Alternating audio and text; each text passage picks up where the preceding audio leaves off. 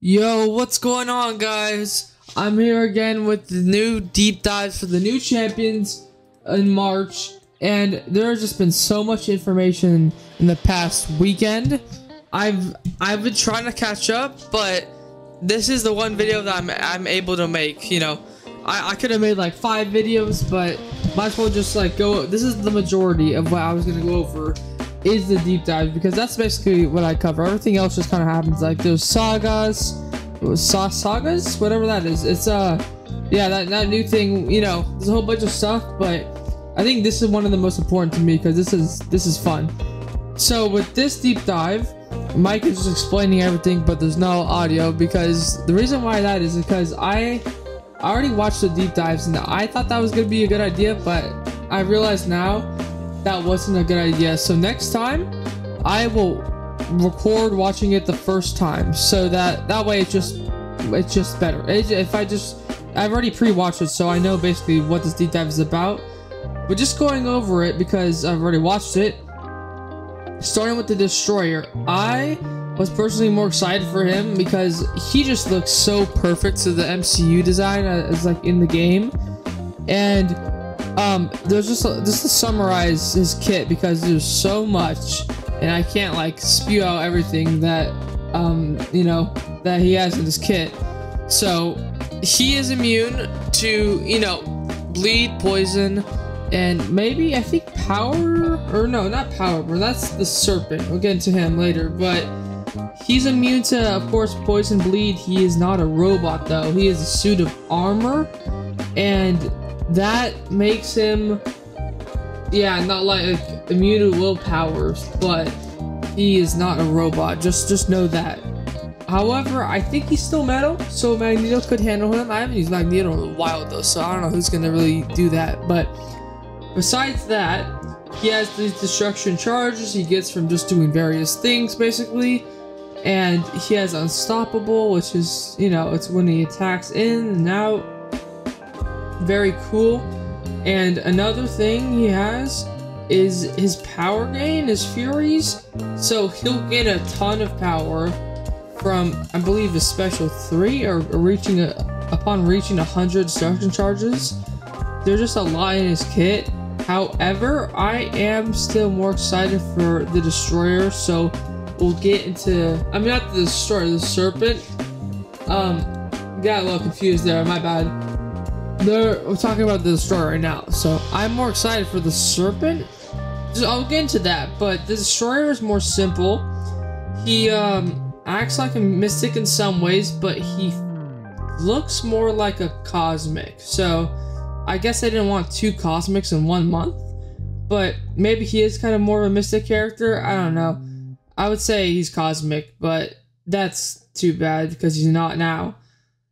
Um, however, that doesn't really, you know, doesn't matter too much. Mystic is always cool. I'm glad Mystic is getting more of a boost now. And this dude can stagger, or not stagger, he just destroys indestructible buffs and immortality buffs. So, yeah, there's no no more Herc, no more, um, whoever it is, there's no more Hulkling uh, indestructible, there's no more, maybe Clairvoyant? I don't know if that really works with her death immunity, but he um yeah he works for various situations. He's he's like i don't really know a specific matchup that he would go crazy against with like absorbing man and let's say Terrax but this guy is he'll work for most cosmic matchups. I just can't think of a specific one he'd really work for. His special three i would say is his source of ramping maybe because you want to gain destruction charges, but look, he has energize. There's a degen, and you want to use that degen to, well, Mike will say in the rotation in a second, but you want to use that degen to increase your special 2 damage. So that's only from the special 3, you know, whole whole ass rotation. Um, this is my bad. So his awakened ability, there's a lot to go over. He's like Korg and, uh, and uh, actually. He'll deal damage back to you, 40% of it in Rupture, just instant ruptures, which is very not nice. As you can see, um, this Odin's getting ruptured to death. Um, not very nice. But you know what I'm saying? We got, you know, Scorpion, he'll work. That's all I can think about right now. But he looks very promising. And let's get into this rotation here in a second. Right now. So he built destruction charges. I know I'm talking over my but by intercepting the opponent. This was going. This went over on the stream. Attacks. You'll also gain charges. He does a lot with buffs. You know, gains his charges. use your special one to gain even more charges. And Very nice, getting like a lot of charges from special one. And once you reach 100 power charges, gain? you'll gain a power Yep, four bars of power. Four bars of power. From here, use your special three to inflict your. And yeah, go for the special then, two. Let your power gain continue and Very launch neat. a monstrous special two. And if the opponent isn't already knocked out, take advantage of your energy. again and again and again until they are. Now, in a shorter fight, build your charges in the same way, and don't forget, you can destroy any indestructible buffs on the opponent. Very useful, actually. So just keep this rolling until you reach 100 charges. But this time, just launch your special Yeah, you can do it again. Reaching special 3. They're unblockable. And remember, the final 3 hits are unblockable. So, don't be afraid. So that was very neat. That was the deep dive for the Destroyer. I'm going to do that thing so I can kind of talk over while going over the rotation. And overall, just really quick, because we're in the Serpent um, deep dive now. The Destroyer is pretty cool. Um, of course, want to get my hands on both of these guys. And I think, however, this guy right here, the Serpent, is way more crazier. So let's get into that right now. Starting off, he has a whole, he has a, a book of immunities. I mean, like, he has to do with, let's see, you can see his ability power rate, whatever, heal block, special lock, power lock, power steal, probably. I didn't even read all of it, but yeah. Fate Seal, no more long shot, so he's just, he's just all over the place, bro. I don't even know what to tell you. He, um, yeah, there's no, no, not really wither, not really armor breaking him. You're not really bleeding him. You're not really, I don't think you're really poisoning him either. Poisoning him. So, yeah, I, am pretty sure it's poison. Uh, maybe, maybe it's something else. I might have forget. Maybe it's, no, I think it might be poison. If it's not, then it's just bleed. Um, the damaging debuff. So, he also takes less power burn less power steal, and just he just is immune to all the things that let's say someone like Doctor Doom would do. So I'm pretty sure it is though, because there's power leech, power burn, power steal. There's so many power abilities that you could be immune to. So he pretty much he has like most of them. He pretty much has all of them, you could say. And for his main kit, he gains Dread. And he gains this persistent char like he gains it through persistent charges and also in the match. So you can gain three persistent charges which i'm pretty sure you would start every fight with three um, dread charges starting off. Or if not the three dread charges and the three persistent charges they um they just like while you're questing. So that's nice but he also gains his dread charges when he does a whole bunch of stuff like he loses a personal buff when he um like I when maybe when he like yeah when he gets staggered or tries to get nullified or if the opponent dashes back during the special attacks he just has so many ways to gain his charges in the matchup. So that's very nice and he also comes with damage he comes with survivability he has the utility and he's got the look so it all works out well for him. But he can gain up to like 16 or 14 probably like 16 uh those dread or not dread charges we can gain 16 of those charges. And this is unique. In battlegrounds he starts off with four of the pretty sure i'm pretty sure it's cold cold force charges that's what they're called.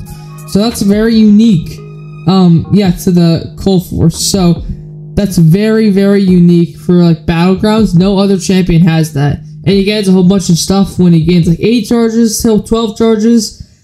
Does burst damage when they fail to evade and miss. And then also he got the pierce buff at 8 charges. That does energy damage to the block. And then he gains an inexorable an inexorable um passive, which is new whenever he gains a charge, which makes it so that he can't get moved or like hit backwards when he's blocking. But if he gets hit with a special attack while he has it, it removes the buff. Which, you know, um, you're not gonna, you don't really want to get hit at all, but if you do, this is a nice safety net to be very aggressive still. So I like that a lot. And when he has 16 charges, if you try to gain any more other above 16, he starts gaining those passive furies, which just increases damage. And you can, um, I'm pretty sure, I don't think you can pause or refresh them, but you can ramp him very nicely if you're in a long fight. So you want to use him in a, you can pretty much use him in any fight. I would say a medium to long health pool. I actually say, from what I've watched so far, yeah, medium to long health pool because you know you're not gonna be able to get the absolute most in a short fight like that one right there. But I mean, you can get some you can get some cool damage off. You're just not gonna see his like potential. He has all this power gain. He has the fear. He stops evade and all this stuff. You're not really gonna be able to see all of it in a really short fight. So, I mean, you're gonna see most. You're gonna see a lot of it, but he will just he'll he'll rinse in longer fights. Even though the damage isn't, it's not gonna be like Guillotine 2099. It's gonna, it's gonna, he's gonna do well in it. And also, as a defender, um, first hit of special attacks unblockable. Then you can't dex his special attacks. So he's like Photon by Cosmic, which is just uh, beautiful. We love to see that, of course. I'm gonna love to fight against it. Um, you just I think what you have to do there, we have to figure it out. But I would say dodge the first hit of the special attack and then block the rest of it. So he's not unblockable and then you don't get hit. That I don't know. That's just a just a theory. It's special three though. Cool. Looks very cool. Gains this passive. This hour of the All Father. It increases like personal furies and doubles your charges. And also he refreshes his furies or he gains new furies. And by the way, if he doesn't do any damage on special three, if it they like have indestructible or something, during it he gains two hours of power afterwards. So if he does literally no damage during special three, then he'll gain power, which is very cool. And his immortal resilience awakened ability makes him able to well he can he can go immortal, which we'll get into, and he gains stun immunity during this defender's special attack, which is nice. Also, he's able to gain a death immunity buff for up to 8 seconds. He gains health back, and he gains power while it's active. Also, it can't be nullified or staggered. I think that is that is the wildest part of it. You can't nullify or stagger it.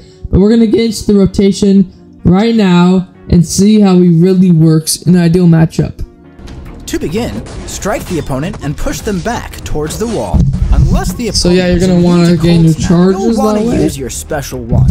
If And possible, an instant cold finish snap, a special one. and delay slightly before launching the special to encourage the opponent to block, increasing your burst. Yep.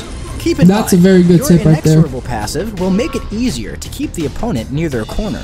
And And he's gonna destroy true Mysterio, by the way. gain from special He will destroy Mysterio. for countering miss and evade.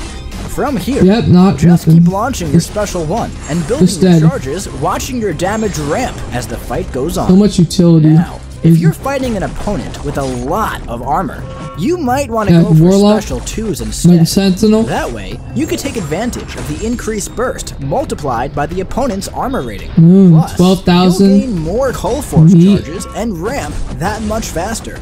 And if you take the Serpent questing, you'll notice his persistent dread makes that Fury buff feel a lot juicier. And hey, Wow, yeah, in a longer 58K. fight, you could use your special 3 to gain your Hour of the Allfather passive, doubling your Cold Force charge, and passive Fury gain. Making Yeah, look at that damage. And opening the door to some huge yellow Ooh. numbers. The serpent 15K, likes to play ooh, the long 100K. game. So, the longer the fight goes on, the more his opponent will be punished. That's the deep dive for the Serpent, and that was the rotation. So yeah, out of these two champions, obviously, I'm gonna say I'm more excited for the Serpent right here. He has some amazing utility. He has he just has everything, bro. Um, I can't wait to try to get my hands on this guy in the future. And um, they're both going to be very cool to see how they get introduced to the game and how they're used. But that's it for this video. I'll see you guys soon. Of course, I'll see you guys soon, of course, and have a good rest of your weekend.